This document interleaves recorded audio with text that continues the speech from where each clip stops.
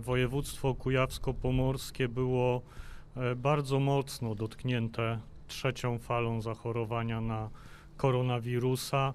Tutejsza baza łóżek e, przeznaczonych na tą walkę e, w szczytowym momencie trzeciej fali wyniosła blisko 2000, a cały potencjał regionu, jeżeli chodzi o zakontraktowane łóżka, to 8 tysięcy, czyli ta proporcja łóżek, proporcja systemu opieki zdrowotnej przeznaczonego na walkę z COVID-em to było blisko 25%.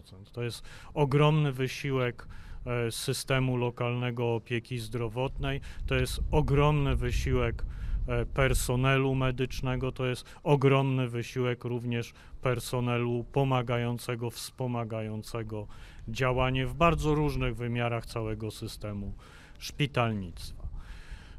To jest też przykład tego, że skoro dużo łóżek, dużo infrastruktury było poświęcone na walkę z COVID-em, to też ten deficyt zdrowia związany z walką i ukierunkowaniem się na walkę z COVID-em jest w regionie na pewno stosunkowo duży. Tak trzeba sobie to otwarcie powiedzieć. Dlatego tak ważne jest, żeby teraz w takich regionach jak Kujawsko-Pomorskie dokonać właśnie takiego bardzo poważnego zwrotu. Zwrotu, który przekierowuje ten wysiłek z walki z COVID-em na powrót do normalności. Powrót do normalności w każdym wymiarze e, w każdym wymiarze systemu opieki zdrowotnej, czyli mówię zarówno tutaj o poziomie podstawowej opieki zdrowotnej, o specjalistyce, ale też o y, szpitalnictwie.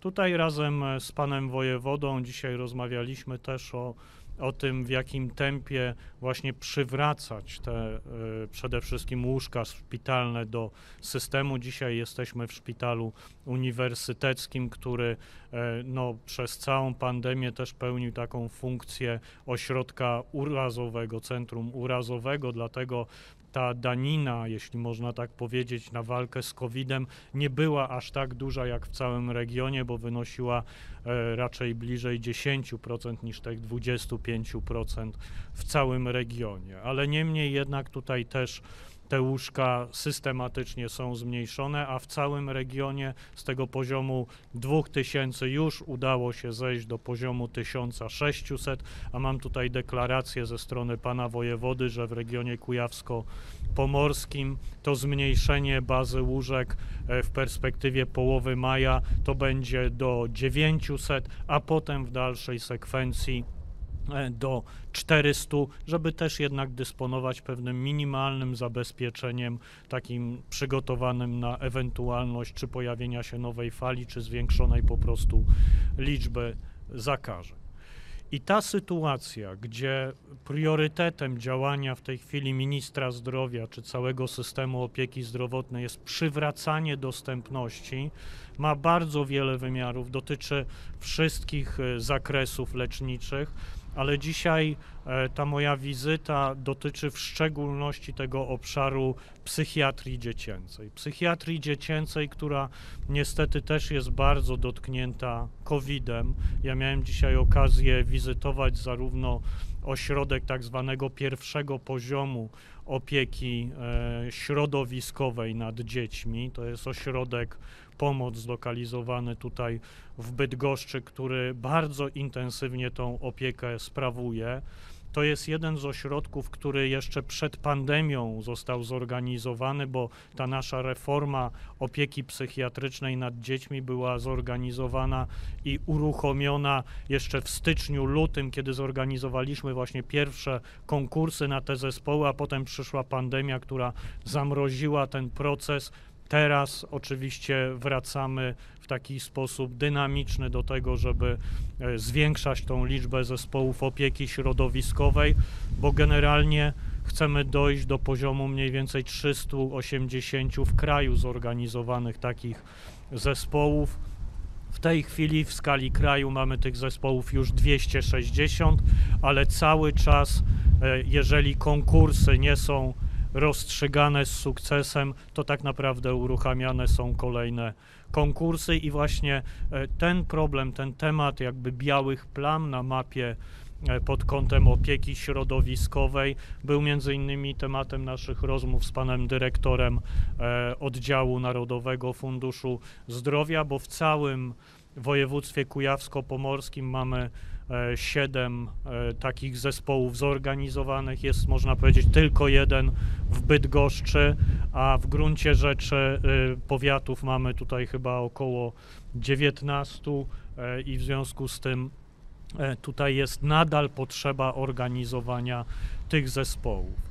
Te zespoły funkcjonują bardzo sprawnie. Dzisiejsze e, informacje z zespołu zorganizowanego tutaj w Bydgoszczy są takie, że e, udało się e, przekroczyć pewien standard porad oferowanych w takim zespole, bo tym standardem jest 400 porad miesięcznie, a tutaj już jest 612 miesięcznie świadczonych, co oczywiście świadczy nie tylko o sprawności tego zespołu, bo są dotrudniani kolejni psychologowie, ale też świadczy o zapotrzebowaniu na taką pomoc. I tutaj namawiam wszystkich rodziców, wszystkie dzieci. Na stronie Narodowego Funduszu Zdrowia jest spis takich poradni, takich zespołów opieki środowiskowej.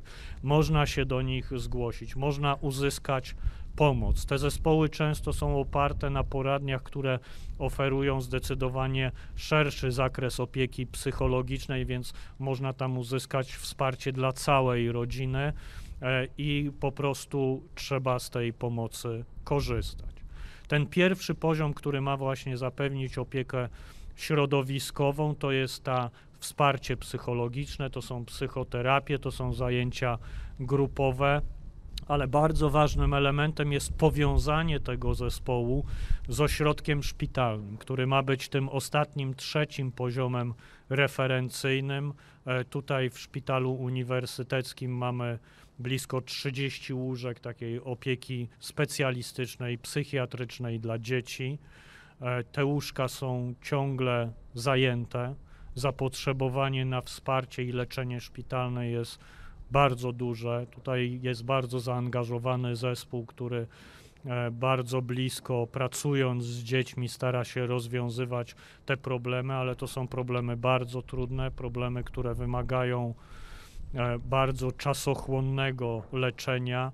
Tutaj średnio dzieci na oddziale psychiatrii przebywają co najmniej, można powiedzieć, 30 dni, a w przypadku oddziału dziennego to te terapie trwają czasem po 10 miesięcy, są zaplanowane na cały rok szkolny e, i personel tutaj no, dźwiga tą odpowiedzialność i wykonuje pracę właśnie opieki nad dziećmi i młodzieżą, które mają ogromne problemy, ogromne problemy y, zwykłe, ale jeszcze dodatkowo problemy związane właśnie z tym, że pandemia niestety też y, ogranicza normalne funkcjonowanie, ograniczyła możliwość funkcjonowania w grupie rówieśniczej.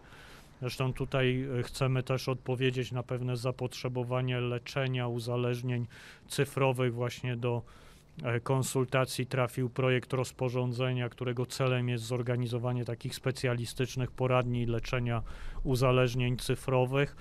I pod tym względem budujemy taki kompleksowy model i trzeba też e, z niego korzystać. Ten model jest tak zaplanowany, żeby dzieci nie były stygmatyzowane wizytą szpitalną e, czy właśnie tutaj pobytem w ośrodku. Można w pierwszej kolejności skorzystać właśnie z tego zespołu opieki środowiskowej. Jeszcze raz powtórzę, że wszystkie informacje, gdzie te zespoły już są zlokalizowane, gdzie można skorzystać z ich pomocy, znajdują się na stronie Narodowego Funduszu Zdrowia. Tam jest lista wszystkich tych poradni, które właśnie świadczą taką opiekę e, środowiskową i przed nami po prostu ciężka, trudna praca e, przywracania dostępności systemu opieki zdrowotnej, ale niestety również nadrabiania pewnych zaległości zdrowotnych. I tutaj chciałem podziękować personelowi zarówno szpitala, jak i tego zespołu ośrodkowi po, e, opieki środowiskowej, pomoc w Bydgoszczy za to, że tak skutecznie i z takim zaangażowaniem tą